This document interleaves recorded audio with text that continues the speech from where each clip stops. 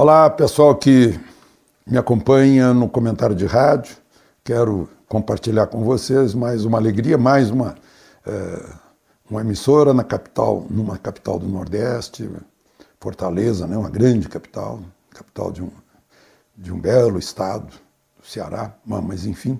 Né, falando em Ceará, né, vocês devem ter acompanhado esse episódio a bordo de um voo de Fortaleza para Brasília, né, em que é, o, deputado, um deputado foi uh, assediado, digamos assim, por um passageiro que estava sentado ao lado dele, e o passageiro chegou a Brasília e foi preso pela Polícia Federal a pedido, provavelmente, do comandante e do deputado.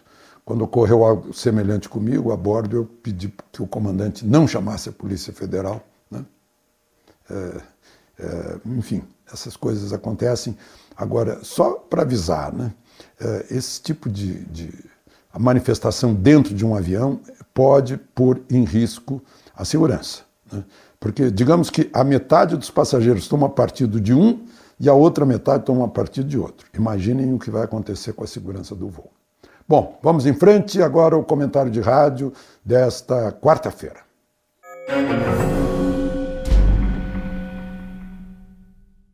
Bom dia. Polícia Federal já passou o atestado de bom comportamento de Lula, que é a, o, o, que é requerido para que ele desfrute do semiaberto. Né? Uh, ou seja, uh, fique dormindo num presídio, trabalhe durante o dia e use tornozeleira eletrônica. Ele não quer nada disso, prefere ficar. O presidente do Tribunal Regional Federal de Porto Alegre, que jurisdiciona Curitiba, o, o, o juiz eh, Laus, eh, Vitor dos Santos Laus, deu uma entrevista à Rádio Gaúcha dizendo que Lula desfruta de condição especialíssima, não está preso em estabelecimento destinado aos outros presos. Pode-se dizer que é uma regalia. Ele pode não aceitar o resultado do julgamento, mas precisa assimilar que foi com base em provas que ele foi condenado. E ele não vai conseguir mudar a realidade dos fatos. Né? A outra realidade é que já está um segundo, uma segunda condenação, é, por causa do sítio Atibaia, que já saiu em primeira instância, que está lá na segunda instância. Ele pode, inclusive, sair e voltar a ser preso, mas, é, na verdade, o que a Polícia Federal quer é despejá-lo. É, é, o quarto de despejo onde está Lula, porque a Polícia Federal não aguenta mais né? as despesas, as confusões, a vizinhança. Né?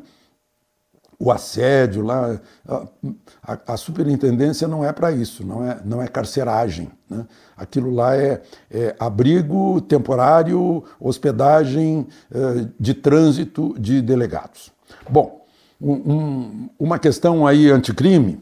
Eh, o pacote anticrime de Sérgio Moro na Comissão de Constituição e Justiça da Câmara está tendo eh, bom encaminhamento uma parte que é relatada pela deputada Bia Kisses, foi aprovado na comissão que o crime comum não vai ficar na justiça eleitoral, não.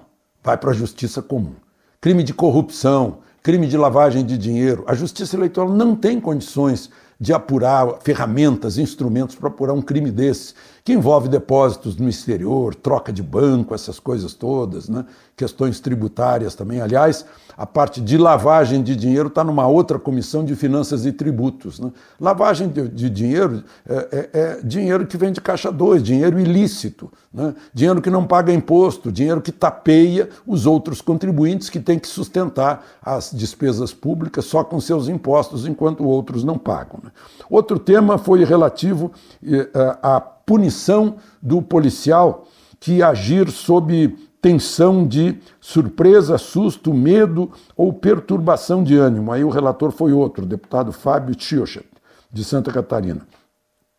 Eu acho que a pessoa que ah, age sob tensão quando recebe surpresa, susto, medo ou perturbação de ânimo, não tem vocação de policial. Né? Assim como não tem vocação de jornalista quem age dessa maneira também. Né? Ah, eu, eu, eu tenho eh, por mim em muitas ocasiões, né, em guerra, em acidente de avião. E na hora da grande tensão é que a gente tem que estar tá calmo, tem que estar tá frio, né, para poder relatar o que viu. O policial para agir como policial, com a calma devida, com o bom senso devido e com a frieza necessária nesses casos. É, essa história toda né, já está no Código Penal. Né? O Código Penal prevê legítima defesa eh, própria ou de outrem, né? estado de necessidade ou estrito cumprimento legal né? e de forma moderada. Isso já está lá. Né? Mas, inclusive, esse tema está tá com vistas. Né? E, por fim, eu queria mencionar os garimpeiros que foram ao presidente Bolsonaro, pedir intervenção federal nos garimpos, pedir que o Exército administre os garimpos, como aconteceu lá em Serra Pelada em tempos do Major Curió. Inclusive, tem uma cidade ela é chamada Curionópolis, para lembrar isso. Né?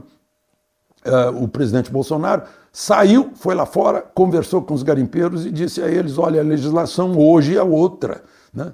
Eh, se a lei for mudada, tudo bem, mas hoje a legislação não permite isso. Né? Eh, na verdade, eu acho que o Brasil está perdendo. São 16 a 18 quilos de ouro que não são retirados por dia, está tudo parado. E não é só o garimpeiro. Né? Tem um, uma cadeia que funciona uh, em torno do garimpeiro, que vai desde, a, desde o prostíbulo né, até a, a, comercialização do ouro, dá mais de um milhão de pessoas envolvidas. Né? E está tudo parado desde que as autoridades foram lá e tocaram fogo nas máquinas, nos caminhões, na, enfim, em, tudo, em, em barcaças do garimpo. Né? Parou tudo. Né? Uh, enfim, agora vão ter que vir pelo, via Congresso Nacional, né? se há necessidade ou não de mudar a lei que permita a continuação do garimpo. Já, já é uma proposta de uh, garimpo em terra indígena, junto com os índios, né? porque a lei brasileira, a Constituição brasileira, diz que o subsolo é da União. O solo tem proprietário, né? ou reserva, mas o subsolo é da União. De Brasília, Alexandre Garcia.